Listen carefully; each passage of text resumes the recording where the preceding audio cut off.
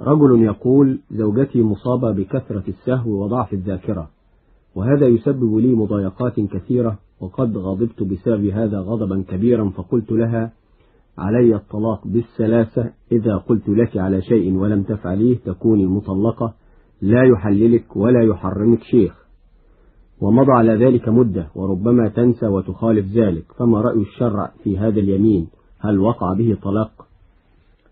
هذا طلاق معلق يرجع فيه إلى النية فإن كانت نيته التهديد لا يقع طلاق وفيه كفارة يمين. أما إن كانت نيته الطلاق فقد وقع طلاق على ما هو المعمول به في محاكم مصر والله أعلم.